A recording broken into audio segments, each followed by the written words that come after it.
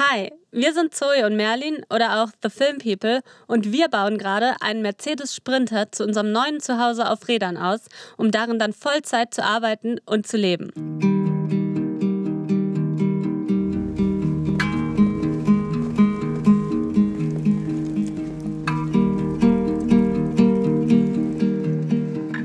Guten Morgen aus dem Schnee. Voll schön. Das ist ein Winter Wonderland.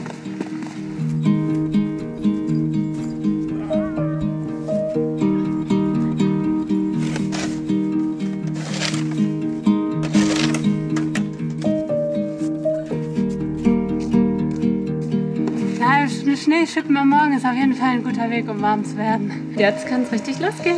Bist du genauso motiviert wie ich?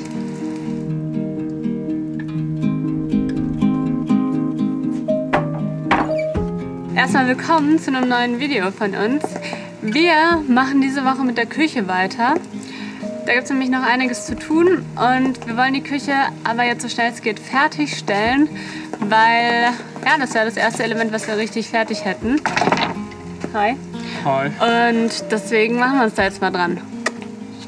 Wir haben letzte Woche schon erfolgreich eine Schublade gebaut. Das seht ihr im Video von letzter Woche. Das verlinken wir euch hier oben. Ich weiß nicht genau wo. Und heute sind wir viel besser schon da drin, oder? Wir machen das jetzt in zwei Stunden. In zwei Stunden. Also, 9.10 Uhr. Mal gucken, wie lange wir brauchen. Für drei Schubladen.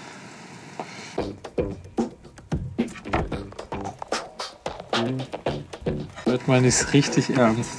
Und was? Ja? Wir messen heute mit halben Millimetern. In unsere Präzisionsarbeit kann jede Tischkreissäge einpacken. Wollte ich nur mal sagen.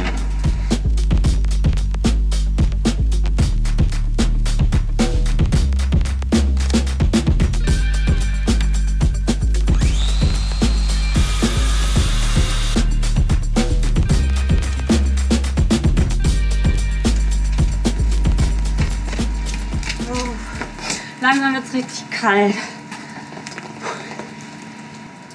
Die nächste Schublade wird leider auch wieder so eine Frankenstein-Schublade.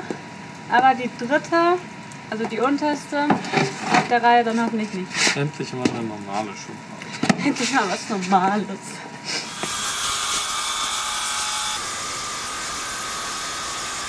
Ja, wir haben halt keine Tauchsäge mehr, aber wir müssen hier von oben was reinsägen, deswegen machen wir einfach hinten das Ding lose und halten es hier zurück und tauchen dann ein.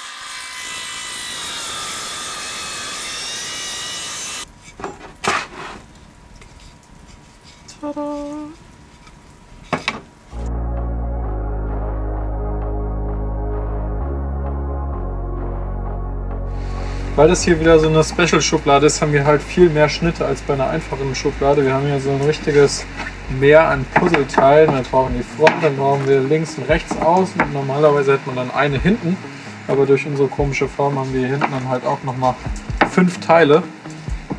Aber dadurch auch, dass wir es schon mal gemacht haben, ging es jetzt deutlich schneller.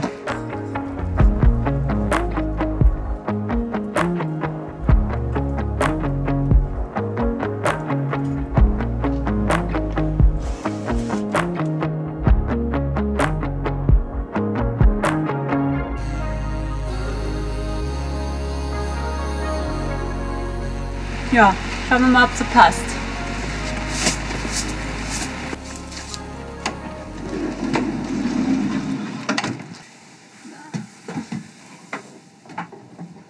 Toll. Also hier vorne drauf kommt dann noch so ein Cover wie hier. Das machen wir jetzt. Aber ansonsten ist super. Kleber, Kleber, Kleber. Ist so kalt, dass der Kleber in dieser Schale schon richtig hart wird. Man muss ihn da so rausziehen und der zieht voll die Fäden. Und ich glaube, man die Bearbeitungstemperatur ist auch nur bis maximal 5 Grad, weil es regnet ja, es muss ja über Null sein.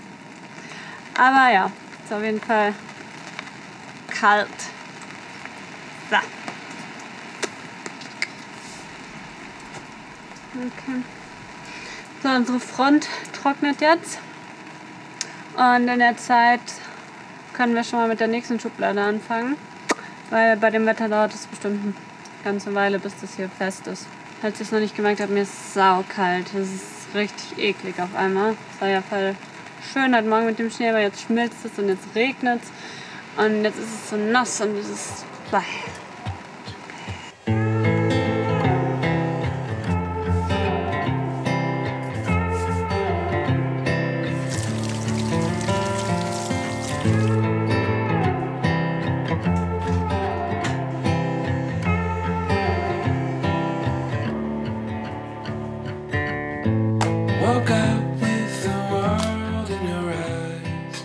Wie ihr wisst, sind wir richtig verfressen. Und an so einem Tag wie heute, wo es einfach saukalt ist, da kann man nämlich gar nicht genug essen, finde ich.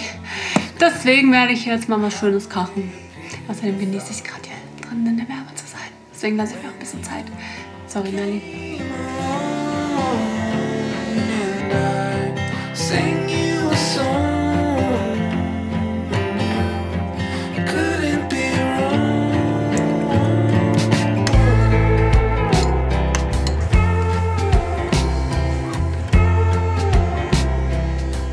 So, zehn Jahre später. Heute gibt es Bratkartoffeln mit Tofu, mit gebratenen Nudeln. Wobei ich weiß nicht, ob das nicht ein bisschen Overkill ist. Naja, mit Rucola und ein bisschen Gemüse. Damit wir auch schön satt werden. Merlin hat gesagt, er hätte gern Reis, Kartoffeln und äh, Nudeln. Deswegen, ich glaube, ich mache die Nudeln noch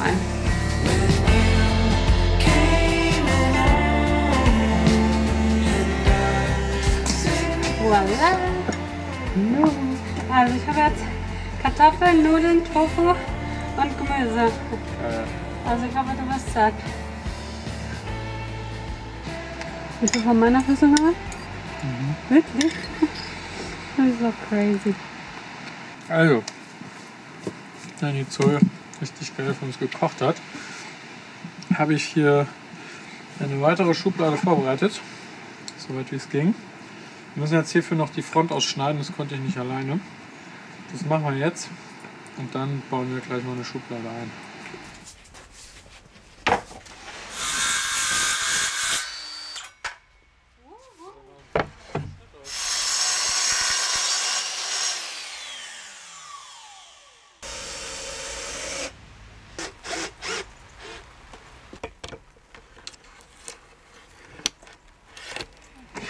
Jetzt schrauben wir mal unsere zweite Schublade an.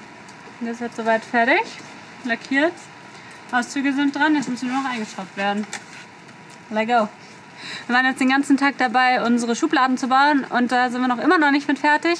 Heute sind wir viel besser schon da drin, oder? Wir machen das jetzt in zwei Stunden. Aber es nähert sich langsam dem Ende und ich freue mich schon, wenn wir die gleich alle einbauen können.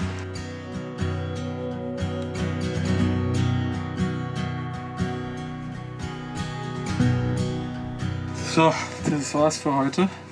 Wir haben uns ja vorgenommen, alle Schubladen fertig zu machen. Eigentlich wollten wir sie heute auch noch einbauen. Jetzt fehlt noch eine, die hier unten hinkommt. Die müssen wir morgen noch streichen. Und hier oben über unseren Gaskasten und unter den Herd kommt noch eine. Da haben wir uns auch noch was überlegt, was mit dem Gas zu tun hat. Das können wir euch dann morgen zeigen, wenn die eingebaut ist. Aber jetzt ist erstmal Zeit für Abendessen.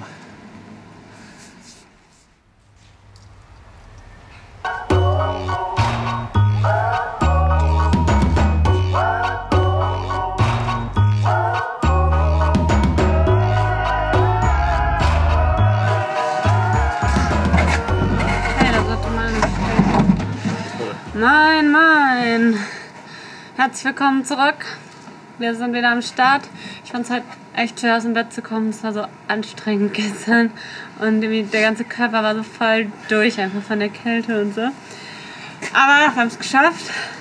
Das Wetter ist gar nicht mal so schlecht. Es ist zwar kalt, aber es regnet nicht und man sieht sogar ein bisschen blauen Himmel. Uff, meinst du, die Sonne scheint heute? Das ist Aha. schön. Auf jeden Fall machen wir jetzt die Schubladen hier noch schnell fertig. Die haben euch noch gar nicht gezeigt, glaube ich, gestern. Das sind die beiden Schubladen, die wir gestern gebaut haben. Die müssen jetzt noch gestrichen werden. Hier habe ich ein bisschen verkackt. Da ähm, sind die Rahmen irgendwie beim Trocknen so auseinandergerutscht und da müssen wir das nochmal auffüllen. Deswegen konnten wir es gestern nicht fertig machen. Aber das ist jetzt auch durch. Und dann ist hier noch unsere riesige Schublade. Ups. Ja, die haben wir auch gemacht. Das ist jetzt die erste Aufgabe des Tages. die beiden fertig zu machen und anzubringen und dann geht's weiter. Looking fly, looking fly, looking fine, yeah,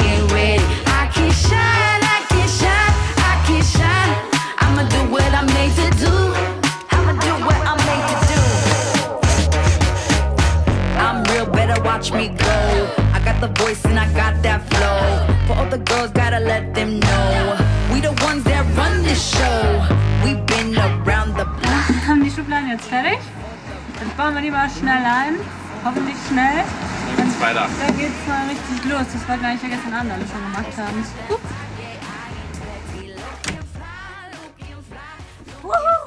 Ganz so schnell war es dann leider doch nicht. Ist nämlich eine ganz schöne Präzisionsarbeit mit diesen Schubladen und den Schienen. Aber wir haben jetzt alle Schubladen eingebaut und das war es jetzt auch erstmal mit dem Schubladenthema zum Glück. Wir müssen irgendwann später hier nochmal zwei andere bauen. Aber schaut es euch erstmal an. Insgesamt vier Schubladen haben wir jetzt verbaut. Alle auf so Soft Close Schienen. Und es funktioniert. Jetzt geht's endlich an den Gaskasten. Und zwar wollen wir den heute fest verbauen. Dazu ist hier so ein Gasdurchlass, Entlüftung äh, vorgeschrieben. Das ist so ein Ding, das müssen wir im Boden versenken.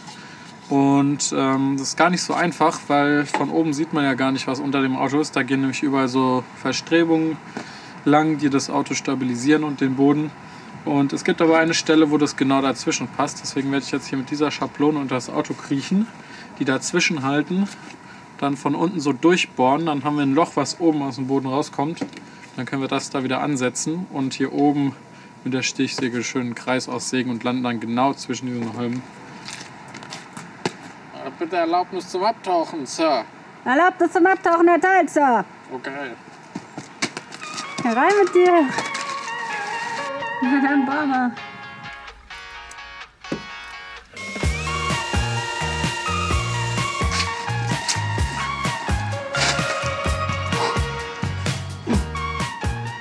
Kaum nur Angeber.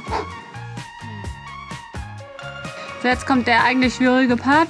Jetzt muss nämlich das alles mit der Stichsäge ausgesägt werden. Und das sind ja mehrere Schichten. Das ist ja unser Holzboden. Darunter ist unsere Isolierung. Da wissen wir nicht genau, ob da die XPS-Platten oder irgendwelche Latten drunter sind an der Stelle. Und dann noch der Autoboden. Das heißt, es wird, glaube ich, jetzt gar nicht so einfach. Aber zum Glück mache ich das nicht, sondern der Merlin. Ich kann mich jetzt zurücklehnen.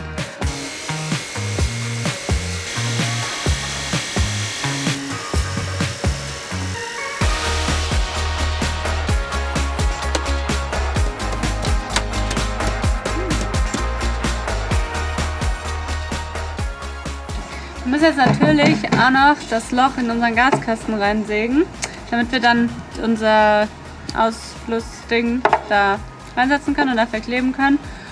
Und die Aufgabe habe ich jetzt, obwohl ich noch nie mit der Stichsäge gearbeitet habe. Ich weiß nicht, ob das so eine gute Idee ist, aber ich probiere es jetzt mal.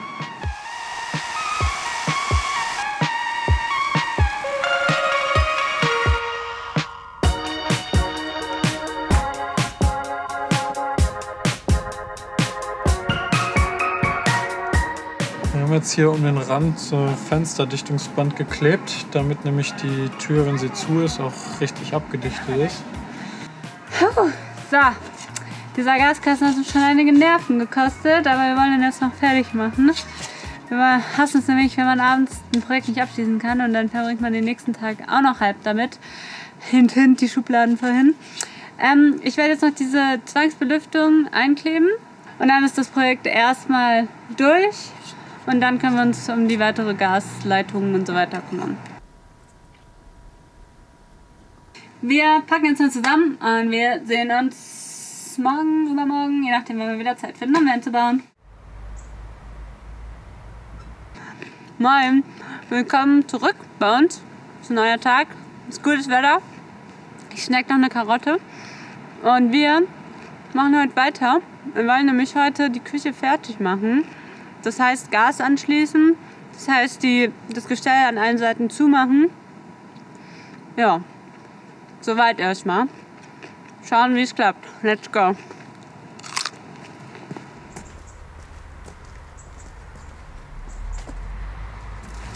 Also, wir wollen hier vorne natürlich die Front zumachen, damit es ein bisschen schöner aussieht.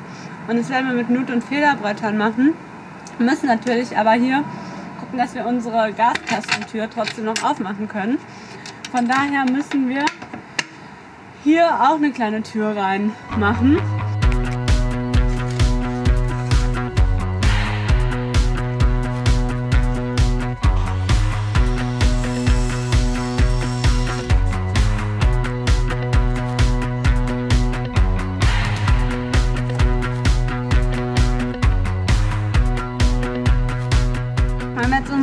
Feder angepasst und jetzt kleben wir die alle zusammen, damit wir dann später, wenn das alles getrocknet ist heute Nachmittag, hier vorne die Tür rausschneiden können, die uns dann später den Zugang zur Gasklappe, zur Gaskiste, wie heißt das? Gaskasten verschafft.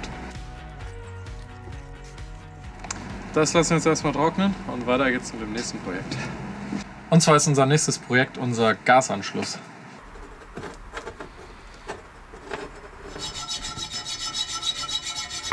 So, wir haben jetzt eben hier ein bisschen rumgetüftelt und äh, unsere erste Verbindung gemacht. Das ist gar nicht so einfach, weil für das Gas gibt es nämlich äh, so spezielle Verbindungen.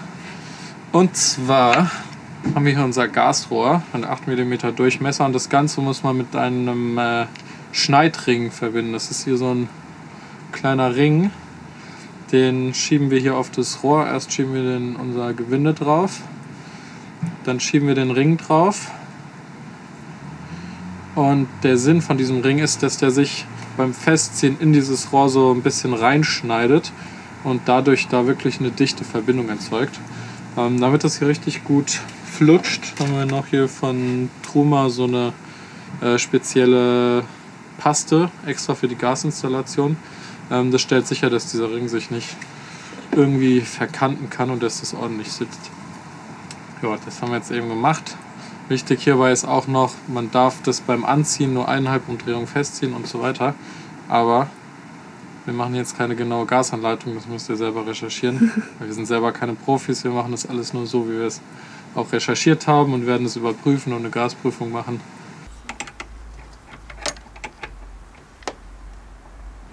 Projekt Gasanschluss beendet. Das ging schneller als wir dachten. Und zwar sieht unser Setup jetzt so aus, dass wir unten eine 5 Kilo Gasflasche drin haben. Dann ist da dran ein 30 Millibar Druckminderer angeschlossen. Das Ganze geht in einen 40 cm Schlauch bis, zum, bis zur Decke von dem Kasten. Und dann haben wir hier ein 8 mm Rohr durchgeführt und das an den Schlauch angeschlossen. Und hier ist ein Hahn, ein Gashahn, um den Gasfluss zu stoppen oder halt einzuschalten für unseren Herd. Damit man den einfacher erreichen kann, haben wir den hier in einer Schublade versteckt. Da müssen wir die Schublade einfach aufmachen. Es war gar nicht so einfach, Infos zum Thema Gaskasten zu finden. Aber nach ein bisschen Recherche habe ich dann doch was rausgefunden. Und zwar sind äh, wichtige Aspekte von diesem Gaskasten, dass der eben komplett ähm, abgeschlossen sein muss zum Innenraum. Das heißt, wir haben hier so eine Tür gebaut, die sich verschließen lässt und die hier eine Dichtung hat, dass das Ganze dicht ist, wenn die Tür zu ist. Wir haben hier oben unser Gasrohr, bei den Durchlass haben wir mit Dekasil abgedichtet, dass das auch dicht ist. Und außerdem ist eine Voraussetzung, dass der Gaskasten nach unten oder in ähm, Bodennähe eine Entlüftung haben muss, die aus dem Auto rausgeht, damit, falls doch irgendwie Gas da drin austritt, das eben durch den Boden absickern kann und hier nicht in den Innenraum kommt.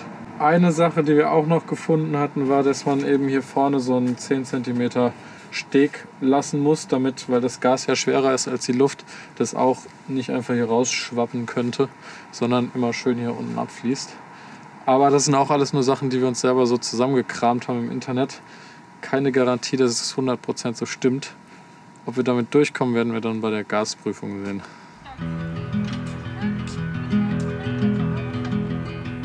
So, wir sind jetzt bei der spaßigsten Aufgabe Entschuldigung, des Tages angekommen.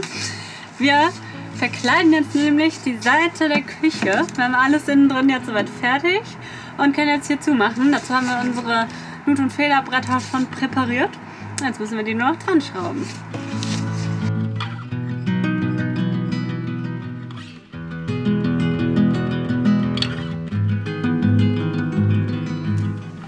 Küche sieht schon so richtig fertig aus und dann ist es noch voll das Chaos. Dann Sachen, ups, haben wir noch nicht mal angefangen, wie die Sitzbank oder das Bad. Es ist cool, schon mal sowas fertig zu haben. So, jetzt geht's weiter mit der Wand, die wir heute Morgen schon vorbereitet haben. Die Bretter, die wir zusammengeleimt haben, halten jetzt mittlerweile gut. Und wir haben hier so eine tolle Schablone, die Zoe gebastelt hat. Und die werden wir jetzt hier an diesem Brett aufbringen und dann schneiden wir das aus und gucken, wie gut es passt.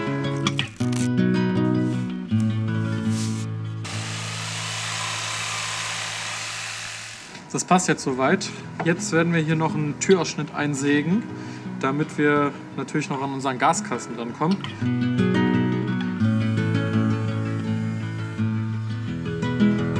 Dann kann man hier die, erst die eine Tür aufmachen. Hup. Dann die zweite Tür und dann kommen wir ans Gas. Und es ist echt unauffällig. Das zeigen wir euch morgen mal im Hellen.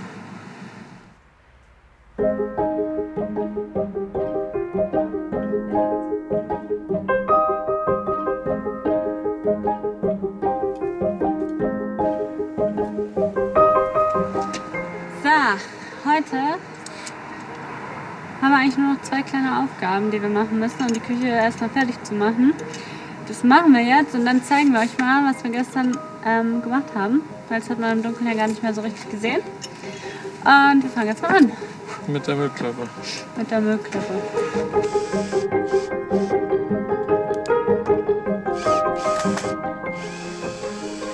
So, sorry ihr Lieben, wir haben es gerade einfach schnell ohne die Kamera angebracht, diese Klappe, weil es einfach so kalt ist und wir fertig werden wollen. Aber das hier ist unsere besagte Müllklappe. Kann man aufmachen und hier wollen wir halt so einen, so einen Mülleimer reinstellen, der hier an der Tür quasi hängt, sodass man das hier so rauskippt. Dann kann man hier Müll reinwerfen und dann macht man es wieder zu. Äh, und gut ist. Wir haben gerade eben unsere Türgriffe bekommen. Die kamen gerade mit der Post. Die sind noch nicht angebracht. Ähm, das wollen wir aber jetzt auch gleich noch machen, weil dann können wir unsere Schubladen auch endlich aufmachen, ohne uns hier die Fingernägel abzureißen.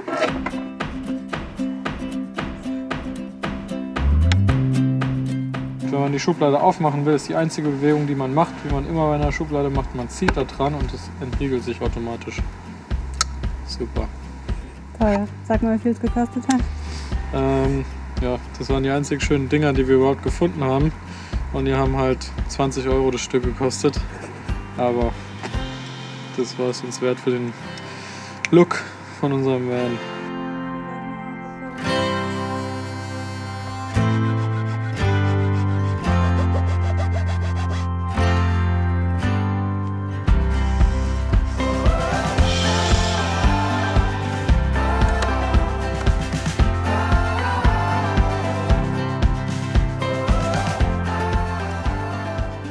Aber, um die Woche gut abschließen zu können, doch noch diese Klappe anbringen. Wir haben zwar nicht mehr so viel Zeit, weil es gleich dunkel wird.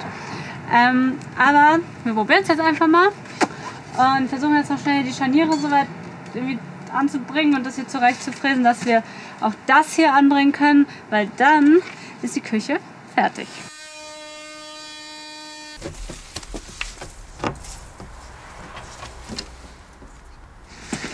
Okay, okay. Wie immer, wenn man was übers Bein brechen will, dann klappt es ja meistens nicht. Das ganze Projekt Gasklappen, Zugang lassen wir erst noch mal ruhen. Da müssen wir noch mal ein bisschen dran rumtüfteln. Und gehen jetzt in unser wohlverdientes Wochenende. Endlich. Vielen Dank fürs Zuschauen und wir hoffen, es hat euch gefallen wie immer. Wir sehen uns dann nächsten Sonntag mit unserem nächsten Projekt. Bis dahin, Macht's gut. macht's gut. Ciao.